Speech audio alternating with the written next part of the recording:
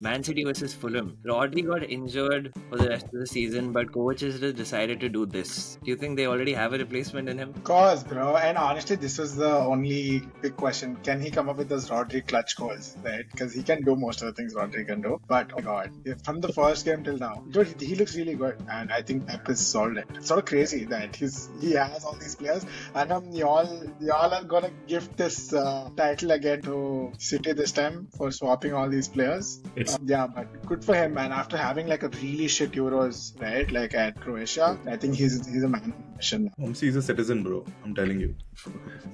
What do you think about coach's performance? Did he ever like do you take him back in your team? Did you miss him like as much as you miss Havertz?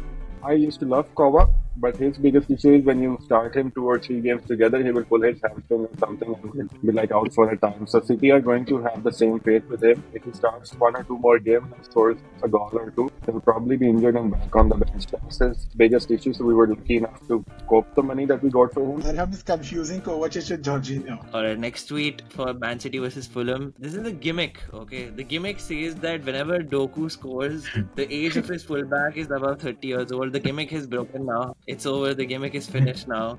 Any thoughts about the gimmick? RIP to it. I am sad that it's broken, and I'm sad that Doku is going from 9 on 100 player to 10 on 100 player. I think he's a very average player. I don't, you know, you look at Doku in a city side and the stuff that they win, and you feel like football is just unfair. Like some people just don't deserve to win that much. And I think Doku is one of those. He doesn't deserve to win that much. Like Savinho is much better. It just feels that way. Alright, uh, on the side note, Abhinav, are we seeing that Haaland is not the robot that we thought he is? That he is, it's possible for him to go two, three games without scoring goals? ever since the robot said Arteta to stay humble, he hasn't scored in the in the Premier League yet. So I think he's been humbling. I think he's being brought back to a city mm, on normal human levels, I guess. And, and again, I think this this happened last year as well. I think this last season in one of the big games.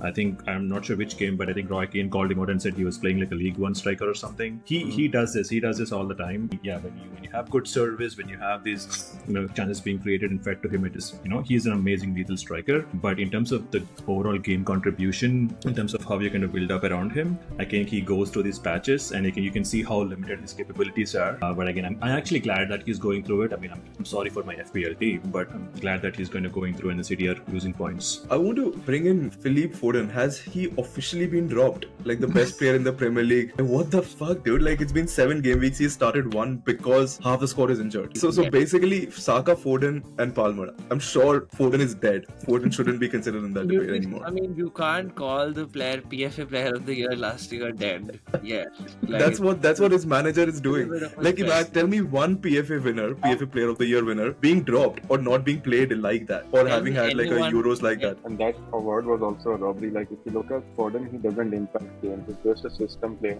If you look in Are you playing gonna for say England, that the guy should have won the PFA Player of the Year? He's a Definitely. stat padder, yeah. He, I mean, he definitely is. Definitely. He does have some contributions, important ones, but he doesn't do shit. Dude, That's I what have- Guardiola said. I mean, I'm not saying it. Guardiola is not playing him, guys. it's on If we me. start giving PFA Player of the Year to teams who finish sixth, I don't know where this league is at. Unfortunately, we can't. Do Uh, that. that's I think the player of the year should be yeah, it should be irrespective of where you finish in the league. It should be the best player by now. Abhinav, do you think uh, for uh, Palmer should have won last year's PFA Player of the Year? Palmer last year, based on where Chelsea finished, no. I mean, yeah, he's good. He's he's, he's been nice, and but I think it's it's between Saka or you know it, it, it's it actually has to be Foden, right? Because the way they finish, and I think he was very good in the second half of the last season. But I think 27 goals uh, Yeah, over, he's- uh, for City last season, last year. No, no, but like nobody is, nobody is doubting that he shouldn't have been given last year. What I'm saying is he's not it this year. Like he's just fallen from grace. But that is that is City, right? Like Pep doesn't throw the players on; he lets them gain their confidence. It's like like Grealish, like so many players do. it. Like it, they don't come back. Pep anyway. City don't don't start the season well anyway. We've seen the script way too many times, so that's too soon to say anything about Foden's season yet. But Um, but what could still come confidence, back. what confidence should Foden get, or even Grealish should get, like last year or so? Because I think they've been high on confidence after the treble.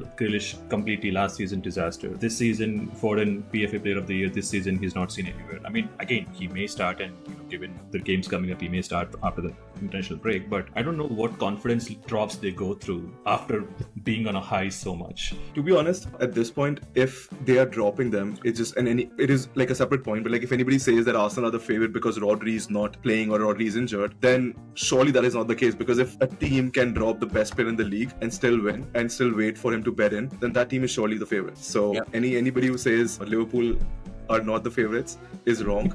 But Arsenal is definitely not the favorite.